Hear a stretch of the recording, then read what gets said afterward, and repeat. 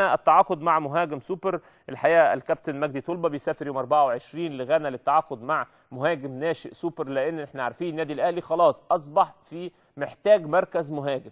ما فيش كلام خلاص. كابتن مجدي طلبة بيقول أنا أجلت السفر ده أكتر من مرة وكان المفروض أسافر وما سافرتش ولكن خلاص ده ده ميعاد نهائي. في عينينا على لاعب أو اثنين أو ثلاثة هناك لاعبين ناشئين هنجيب لعيبة صغيرة بأسعار كويسة بس إحنا في احتياج لمهاجمين. إحنا برضو من الملاعب اليوم بنقول لهم النادي الأهلي في احتياج لحارس مرمى كبير مش لضعف شريف إكرامي ولكن عشان يشد شريف إكرامي عشان يرفعه. دايما برضو بالنادي بنقول إما دكة البدلاء بتكون جامدة أو بتكون قوية.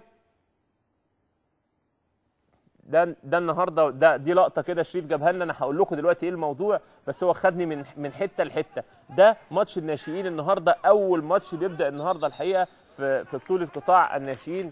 وخطوة النهارده الحقيقة برده كويسة جدا.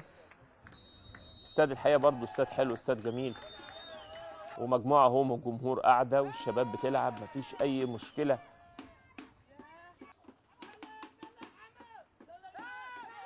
حاجة بص بص بص الشباب الصغير بيعمل إيه؟ بص الحماس. يا جماعة الملاعب دي من غير كورة خلاص ماتت.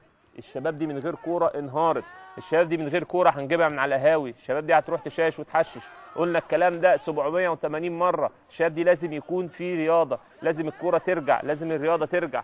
دايما بنقول كده. شايف كل واحد كان في صور دلوقتي الناس قاعدة بره. أكيد هتلاقي ده ابنه بيلعب وقريبه بيلعب وناس قاعدة وجمهور قاعد. حتى لو ناشئين برضه روح. كل واحد من دول عنده حلم عنده حلم يبقى أبو تريكة يبقى جده يبقى غالي يبقى أي نجم يبقى شيكابالا يبقى عمرو زكي. كل واحد من دول بيحلم وهو صغير. لو دلوقتي ما فيش كورة يبقى القصة انتهت. تعالوا برضه نطلع تقرير كده نشوف بقى الناس دي هناك بتقول إيه ورأيها إيه. ونرجع لكم تاني.